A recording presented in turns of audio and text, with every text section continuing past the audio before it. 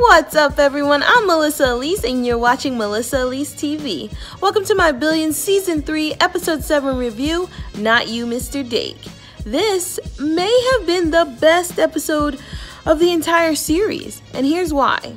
First off, as an overview to the episode as a whole, they used a non-linear format to the story, which isn't unusual. Billions has been using flashback storytelling since season 1, and very well I might add. But this one was so in and out of the past and present bits, yet surprisingly coherent, and it worked really well in building the tension and the suspense, especially in the court sequence. Despite the multiple perspectives of Axe, Chuck, Wendy, Mafee, Bryan, the return of Hall, and a little Taylor in there too, everything fell into place perfectly. Of course, coming into episode 7, I expected to find out Chuck, Wendy, and Axe's plan to get out of this mess, with the main question being who could they pin it on? And we get that answered almost immediately with Chuck talking to the doctor out front of his house. I had my doubts for all of two seconds, so if I could give Chuck a compliment, it would be that he knows how to play somebody.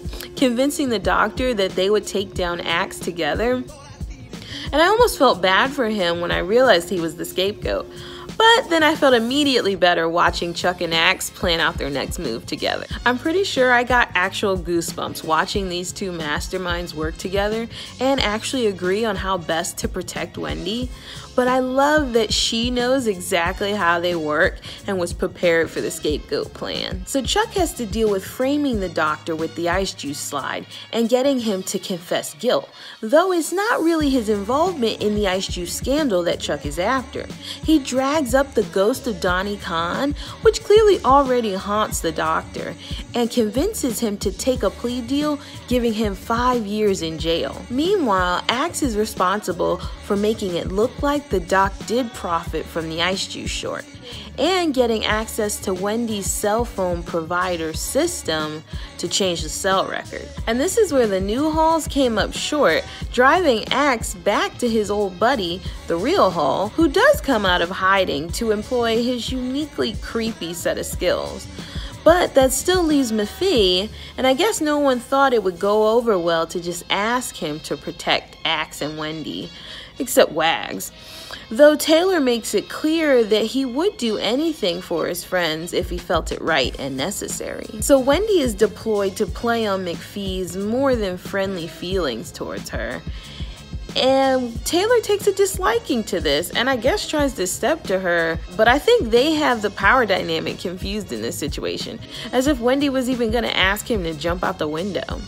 But they gave it their best shot. It's a good thing that they brought him in when they did, though, because the FBI had already had their run at Mafee.